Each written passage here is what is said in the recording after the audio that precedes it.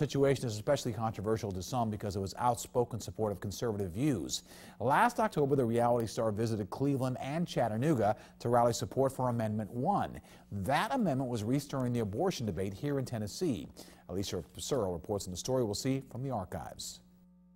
Abortion is one of the lowest regulated industries in the state of Tennessee, and it's made this state an abortion destination. A bold statement from reality TV star Joshua Duggar of 19 Kids and Counting. He made a stop in Chattanooga Tuesday to rally behind Amendment 1. What they're doing there is tyranny.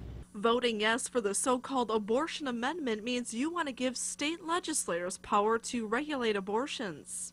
If you're pro-life, you want to vote yes on Amendment 1 because it protects women and it's going to raise those clinic standards and allow them to pass informed consent, which really is going to better this entire debate as we go forward. Hamilton County leaders against Amendment 1 did not show up at this rally. However, earlier this month, Commissioners Greg Beck and Warren Mackey made it known they do not support it. And this is just one YouTube video expressing opposition to Amendment 1.